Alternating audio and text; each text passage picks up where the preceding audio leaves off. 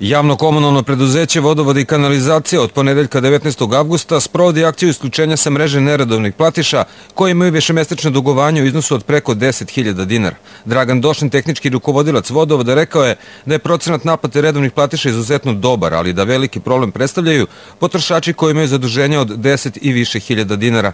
Na poslednjem redovnom sastanku analize funkcionisanja sistema 48 moglo se čuti da javno komunalno preduzeće Vodovod i kanalizacija ima dobru naplatu svojih svojih usluga. Naplatu u odnosu na prethodni mesec iznosi oko 95%. Međutim, problem predstavljaju potrošači koji u dugom vremenskom periodu nisu izmirili svoje obaveze i njihovo dugovanje iznose preko 10.000 dinara, zbog čega su nadležni u vodovodu prinuđeni da pribegnu najnepopularnijoj meri, odnosno isključenju sa vodovodne mreže. Iz javno komunalnog preduzeća vodovode i kanalizacije apeluju na neradovne platiše da izmire svoje dugovanja na vreme, kako bi izbjegli troškovi isključenja, ponovnog uključenja i eventualno korišćenje radnih mašina, a takođe i podsjećaju da postoji mogućnost reprograma i otplate duga na više mesečnih rata. Kada je reč o vodosnabdevanju, činjenica je da je u prethodnom periodu bilo više uzastupnih tropskih dana. To je uticalo na to da se rezerve vode u bunarima smanje, ali taj nivo nije prešao kritični prag, pa se u narednom periodu ne očekuju delimične restrikcije.